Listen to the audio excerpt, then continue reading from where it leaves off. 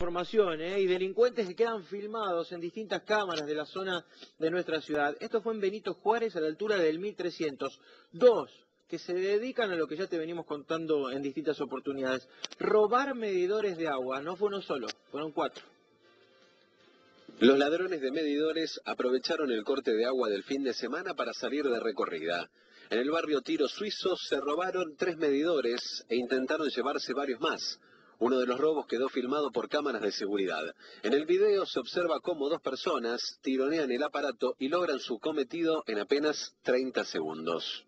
Arrancan el medidor y justamente por el corte que había programado no, no, sale agua en el momento. Bueno, yo me levanto el domingo, pongo a hacer unas cosas y cuando abrimos el agua acá de la cocina, que está directo, vemos que todavía estaba cortado el suministro. Creímos que era porque el de agua estaba programado. Exactamente, como que no había no, habían repuesto todavía el servicio.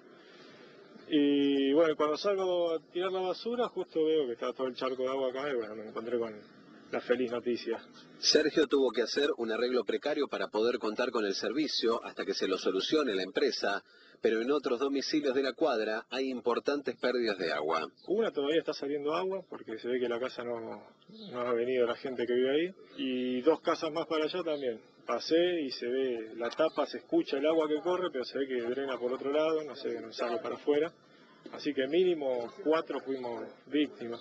En la otra casa, en aquel vecino, le llevaron todo. A este muchacho también. Y acá intentaron, y hay pérdida. Ahí ve, entonces yo estoy esperando porque ayer hice la denuncia y tengo un reclamo.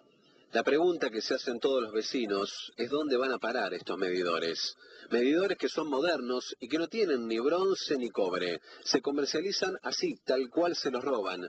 Entonces, ¿quién los vende? ¿Y quién los compra?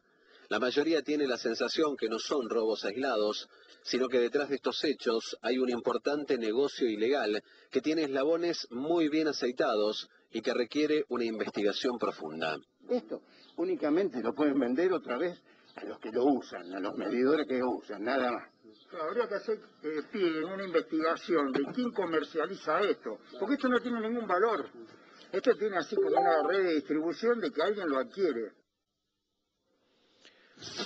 Bueno, vamos a repasar lo que ocurrió en Fraga a la altura del 2100. Si uno cuenta los disparos que tiene esta puerta, son siete, ¿eh? los que se ven por lo menos aquí.